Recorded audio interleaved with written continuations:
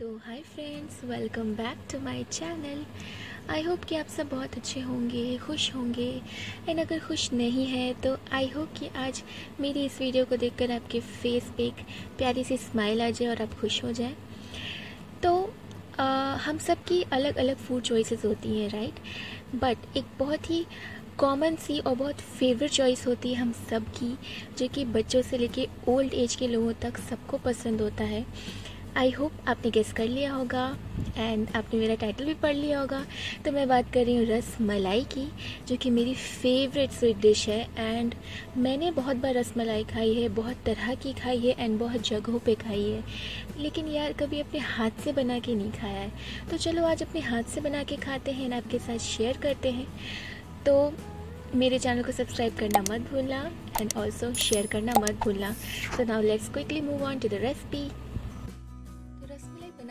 मुझे चाहिए छेना तो मैंने छेना ऑलरेडी प्रिपेयर कर लिया है। उसके लिए आपको चाहिए one litre of cow milk and उसे आफ्टर अ बॉयल उसमें ऐड करना है two tablespoon of vinegar थोड़ा थोड़ा करके। एंड जब छेना पूरी तरीके से सेपरेट हो जाए, तब उसे स्ट्रेन कर लेना है या तो स्ट्रेनर में या फिर कॉटन क्लोथ में। एंड स्ट्रेन करने के बाद उसे प्लेन वाटर से थोड़ा सा वॉश करना है ताकि जो विनेगर की कड़वाहट है वो छेने से निकल जाए। एंड आपका छेना बिल्कुल रेडी है रसमलाई बनाने के लिए तो मैंने इस प्रोसेस को स्किप कर दिया है ताकि वीडियो ज़्यादा लंबी ना हो। तो अब हमें छेने को अच्छे से मथना है अपने हाथों की मदद से एंड अपनी हथेली से उसे मथना है एंड उसके जो दाने होते हैं ना, उसे बिल्कुल मिटा देना है, जिसकी वजह से उसका जो टेक्सचर है बिल्कुल मक्खन जैसा हो जाए, बिल्कुल स्मूथ हो जाए एंड देन उसके बॉल्स बना लेने हैं, या तो आप रसगुल्ला बना सकते हो, या फिर रसमलाई का शेप दे सकते हो। सो ऑल योर विश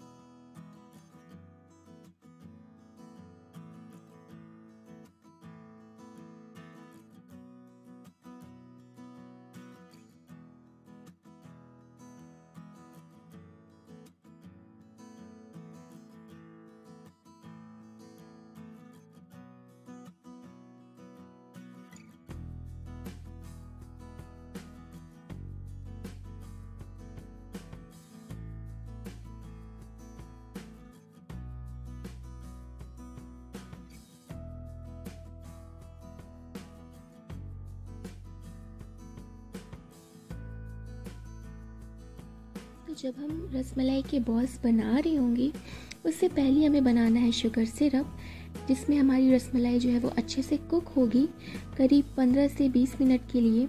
तो उसके लिए लेना है less than one cup of sugar and two cups of water and आप अपने रिक्वायरमेंट के हिसाब से भी ले सकते हैं। बस इस बात का ध्यान रखें कि शुगर सिरप बिल्कुल पतला होना चाहिए, बिल्कुल कोई तार नहीं बननी चाहिए, ना ही थिक होना चाहिए। क्योंकि पतले शुगर सिरप में ही जो है वो रसमलाई अच्छे से कुक होगी एंड वो अच्छे से राइस करेगी एंड अपने साइज़ में डबल होगी। सिर्फ़ एक बॉयल आ जाए एंड चीनी अच्छे से घुल जाए देन आपका शुगर सिरप रेडी है। सो इस बात का ध्यान रखें। तो जब हमारा शुगर सिरप प्रिपेयर हो जाए देन हमें उसमें कुक करनी है अपनी रसमलाई के बॉल्स को। उसके लिए सबसे ज़रूरी बात, जब शुगर सिरप बिल्कुल बॉइलिंग हो एंड हाई फ्लेम पे हो, तभी उसमें ऐड करने हैं रसमलाई के बॉल्स को एंड थोड़ी देर के लिए हाई फ्लेम पे कुक करना है एंड उसके बाद थोड़ा मीडियम कर देना है एंड करीब 15 से 20 मिनट तक उसे कुक करना है एंड थोड़ी देर के बाद वह खुद ब खुद ऊपर की तरफ़ आ जाएगा, जो रसमलाई की बॉल्स हैं देन आप समझ जाओ कि रसमलाई के बॉल्स बिल्कुल अच्छे से कुक हो चुके हैं एंड उसे आराम से बाहर निकाल लो एंड उसके ऊपर देन थोड़ी सी ठंडी शुगर सिरप को पोर कर दो एंड थोड़ी देर के लिए साइड में रख दो। तो जब तक शुगर सिरप में रसमलाई की जो बॉल्स हैं वो कुक हो रहे होंगे तब तक हमें प्रिपेयर कर लेना है रसमलाई का मिल्क जो कि बहुत इंपॉर्टेंट है। तो उसके लिए मैंने लिया है half litre of cow milk and उसे थोड़ा सा रिड्यूस कर लिया है बॉयल करने के बाद। एंड देन उसमें ऐड किया है sugar you can take according to your requirement और नीड एंड देन मैंने उसमें ऐड किया है इलायची पाउडर देन मैंने ऐड किया है केसर वाला दूध। उसके लिए मैंने लिया है थोड़ा सा मिल्क एंड देन उसमें ऐड किए हैं केसर के कुछ धागे। एंड उसे थोड़ी देर के लिए छोड़ दिया था ताकि अच्छा सा कलर आ जाए। एंड देन उसे उसे रसमलाई वाले मिल्क में ऐड कर दिया। उसके साथ मैंने थोड़ा सा येलो फ़ूड कलर भी ऐड किया है ताकि अच्छा सा कलर आ जाए एंड देन उसे थोड़ा सा और रिड्यूस किया है। एंड देन आपका जो रसमलाई का मिल्क है वो बिल्कुल रेडी है। सो so, इसे थोड़ी देर के लिए रख देंगे ठंडा करेंगे। हाँ एक और बहुत ज़रूरी बात कि जो रसमलाई का मिल्क होता है ना, वो बहुत पतला होता है। सो बिल्कुल भी उसे थिक रबड़ी ना बनाए, वो बिल्कुल पतला होना चाहिए। सो बहुत ज़्यादा रिड्यूस नहीं करना है, बहुत ज़्यादा थिक नहीं करना है। सो इस बात का ध्यान रखें। जब रसमलाई का मिल्क अच्छे से ठंडा हो जाए देन उसमें ऐड कर देंगे रसमलाई के बॉल्स एंड उसे दो घंटे के लिए फ्रिज में रख देंगे, अच्छे से चिल कर लेंगे। एंड देन उस